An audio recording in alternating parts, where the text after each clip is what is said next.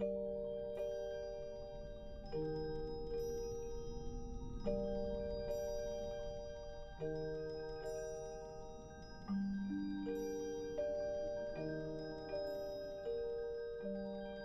was growing into middle age and was living then in a bungalow on Woodland Avenue. He installed himself in a rocking chair and smoked a cigar down in the evenings as his wife wiped her pink hands on an apron and reported happily on their two children.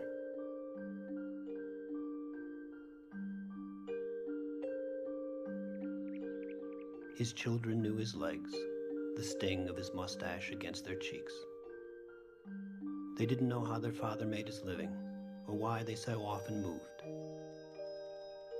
They didn't even know their father's name. He was listed in the city directory as Thomas Howard. And he went everywhere unrecognized and lunched with Kansas City shopkeepers and merchants, calling himself a cattleman or commodities investor. Someone rich and leisured who had the common touch.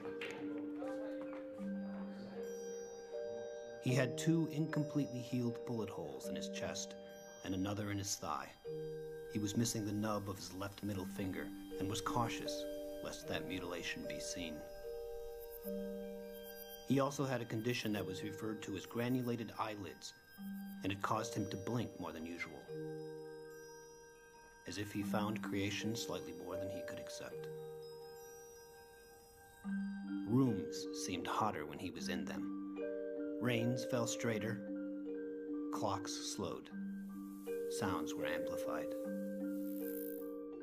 He considered himself a Southern loyalist and guerrilla in a civil war that never ended.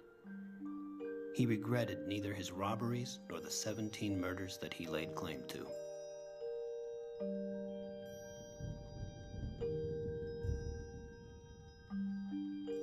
He had seen another summer under in Kansas City, Missouri and on September 5th, in the year 1881, he was 34 years old.